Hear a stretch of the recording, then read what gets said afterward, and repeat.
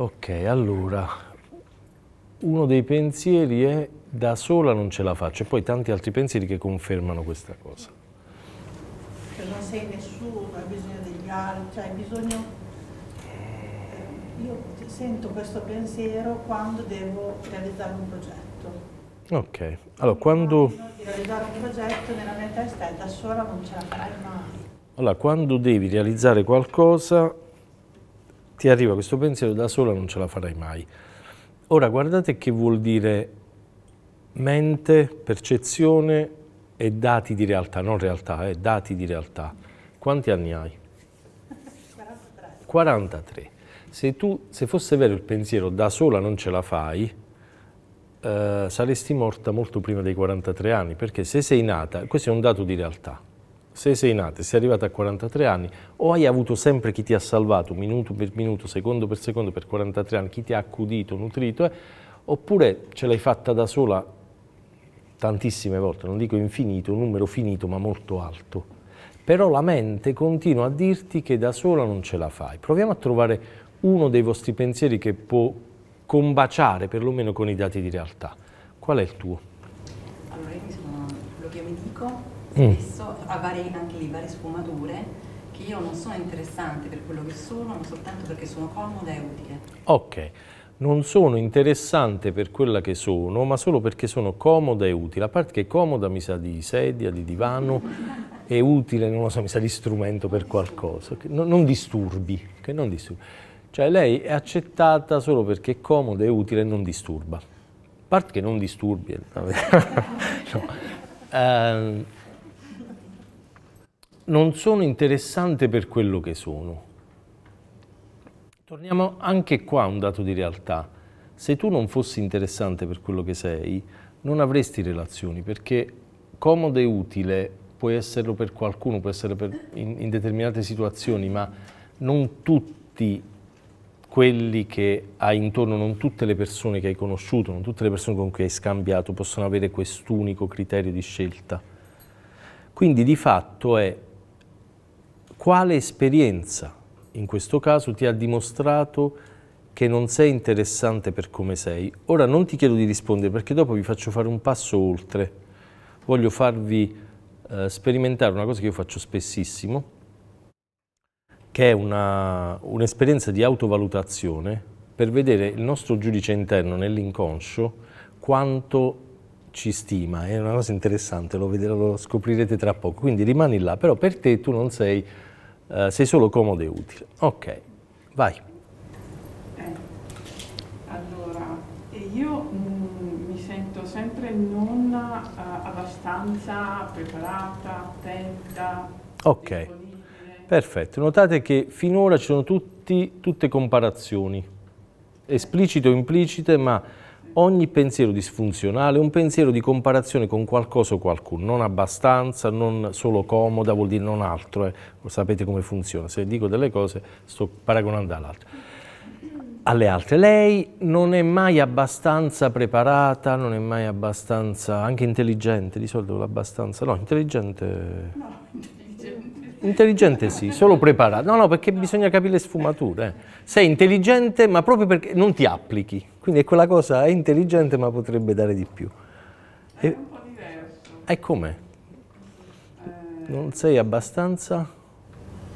ah, probabilmente rispetto alla mm, mio- mia immagine ideale Mm. di me c'è questo giudizio costante, Ok. posso fare ancora meglio, eccetera. Non so come... Sì, sì, immagine, immagine ideale che non raggiungi mai, quindi puoi fare sempre di più. Ok, perfetto. È vero che puoi fare sempre di più nelle situazioni? Sì, in alcuni sì. Ok, in alcune sì. Ti faccio un'altra domanda, pensaci bene. C'è un limite oltre il quale tu dici ho fatto abbastanza? Sì.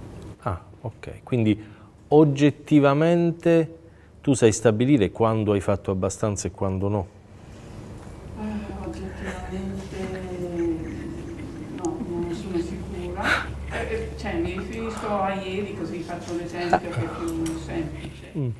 Ehm, dopo tanto tempo mia figlia è arrivata a casa, abbiamo pranzato insieme poi doveva fare i suoi lavori, si è messa in una stanza e io mi sono detta però potrebbe essere anche il momento per fare due parole, però non vado a disturbarla perché sta lavorando. Sarà lei che nel caso lo desidera me lo chiede, però poi ho continuato a farmi il tormento, a dire ma mi sono dimostrata disponibile con lei. Ok, ok. vabbè, insomma, ci siamo salutati, Ok. tutto benissimo, ma il mio tormento era ho fatto abbastanza per essere disponibile. Cioè, non so se mi sono Ok, in questo caso però andiamo a un livello ulteriore, sia per lei sia per tutti noi. Notatelo, in questo caso è sempre paura del giudizio, o meglio difesa dell'immagine.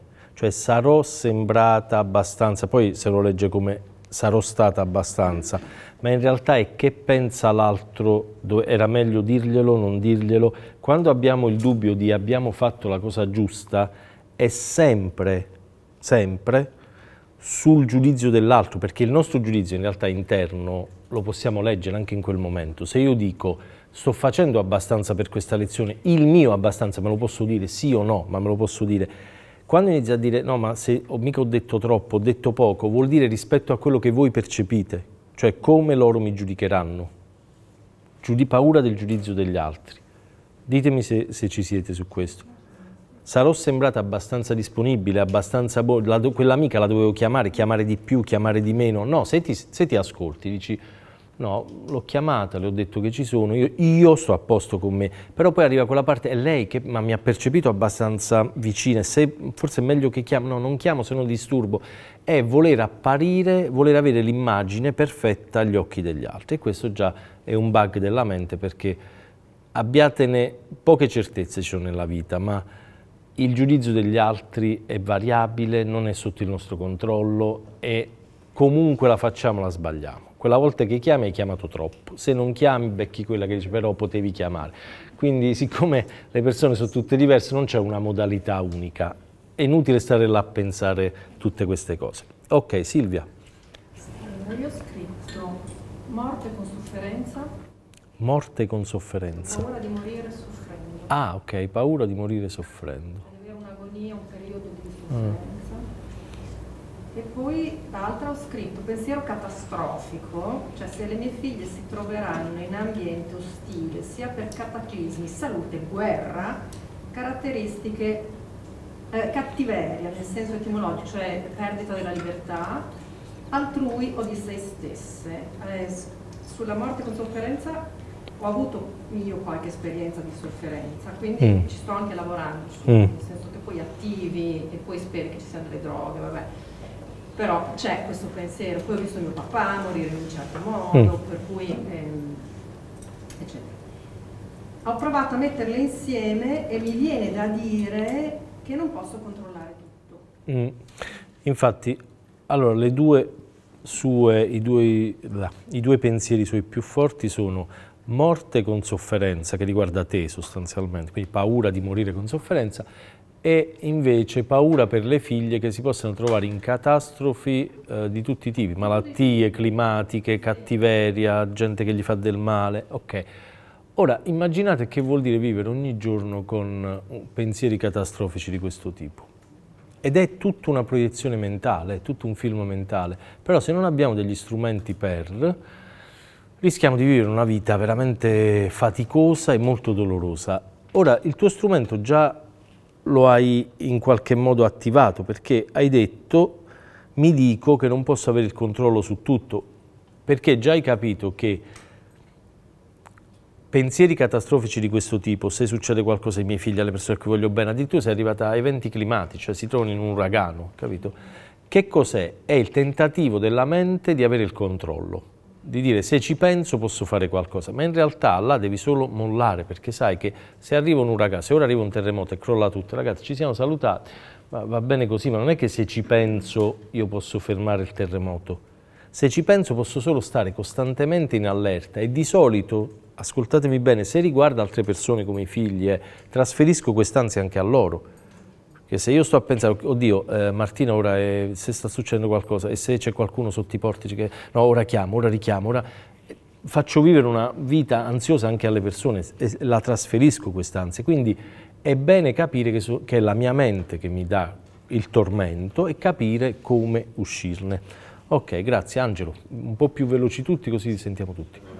Devo barra ho bisogno di essere in forma fisica, bello da vedere. Gli altri devono, ho bisogno, sapere che sono bravo.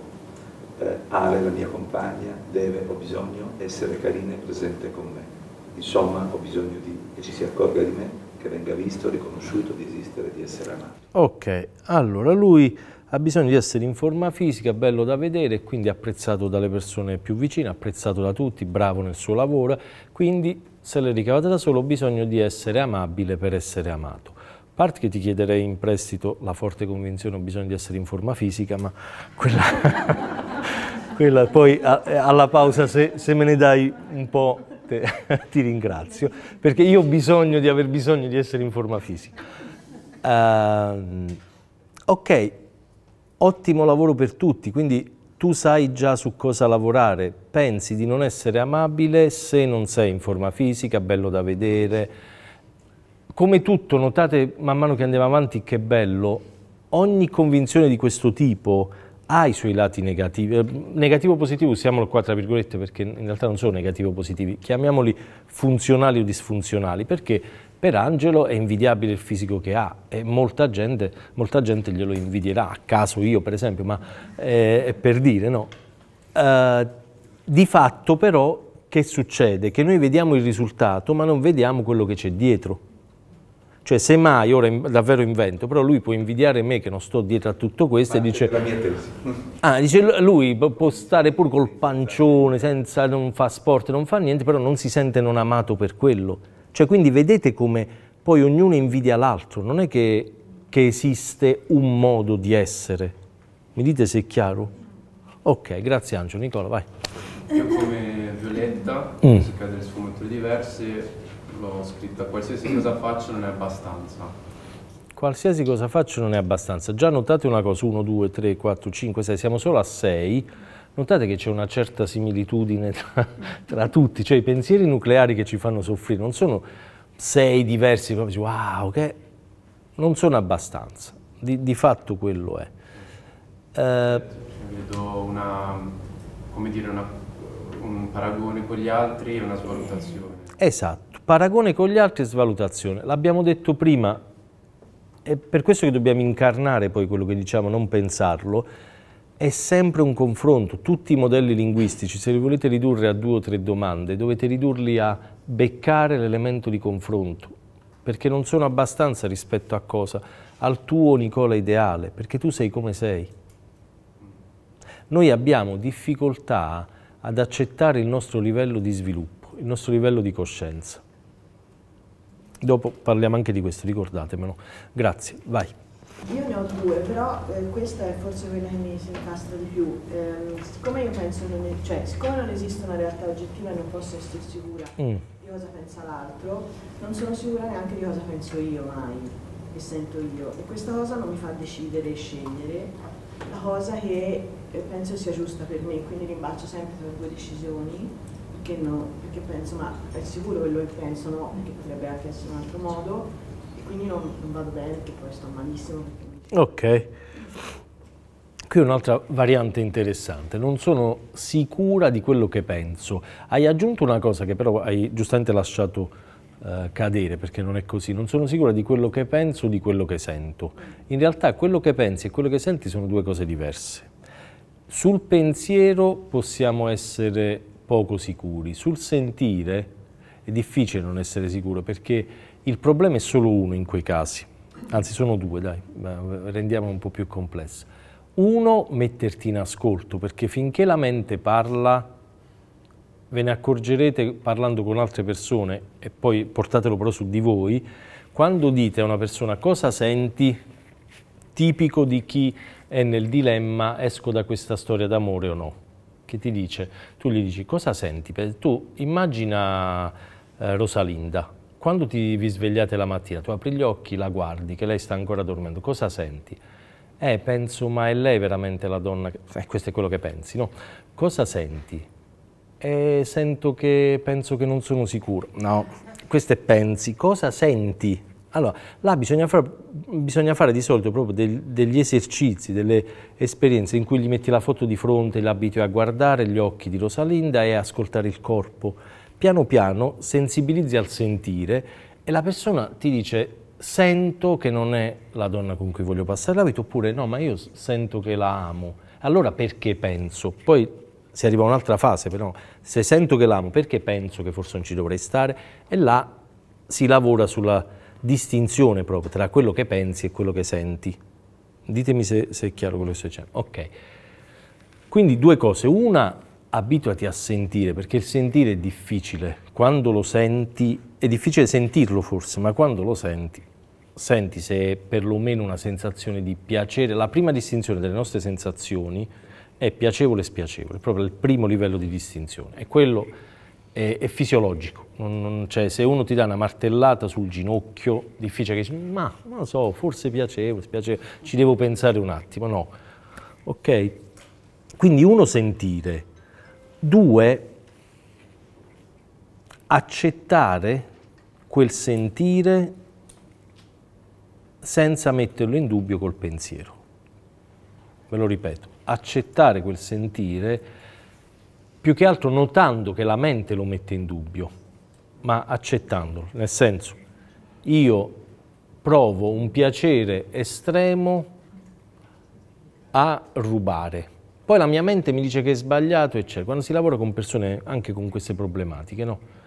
Eh, no, ma io quando rubo proprio sen sento una sensazione piacevole, è un po' come le dipendenze. Io quando faccio shopping, che senti? Sento un appagamento, sento, fammi capire dove lo senti, qua allo stomaco, è piacevole, quello è il sentire. Poi pensa, oddio, che sto facendo? Sto sprecando tutti i soldi.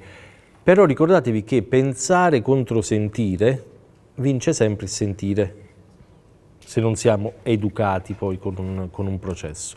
Quindi, attenzione al dubbio, il dubbio di solito è mentale. Quando c'è un continuo pensare, pensi tutto e il contrario di tutto.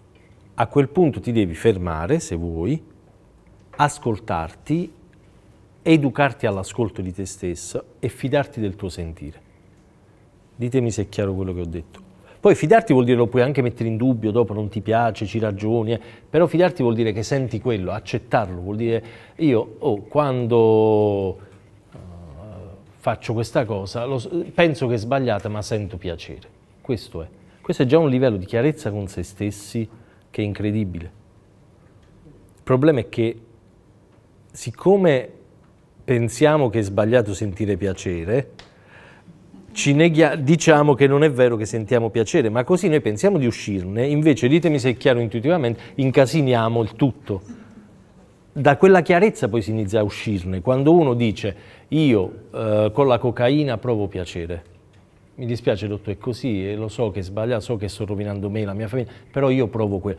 Bravo, ora iniziamo un percorso, però non mi dire no, non è vero, perché io la prendo, ma in realtà non provo piacere, perché là vuoi giustificarti, ma ti incasini, perché non sai più la realtà delle cose qual è.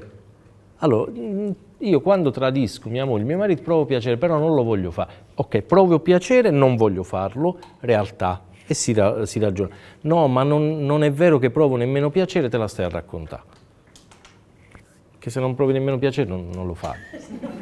Sei un pirla, bravo. cioè, okay.